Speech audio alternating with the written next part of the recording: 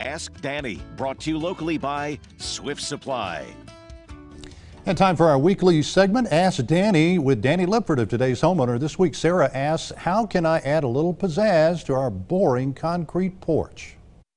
No, Sarah, you don't have to put up with that boring concrete front porch. You can have one that looks as nice as this. All this homeowner did is to clean the front porch concrete thoroughly and then applied a coat of concrete paint. There's so many different colors that you can find one that'll complement the colors of your house very easily. Another option, staining the concrete. Again, clean it well, use a stain. Has a slightly different end result, but still very, very attractive. Now, if you really want to raise the level in terms of the design of your concrete front porch or any concrete surface, you can use a circular saw with an abrasive blade and then just score it in any kind of design that you would like. A simple pattern works very, very well, and you'd be surprised how much it can change the look of the concrete.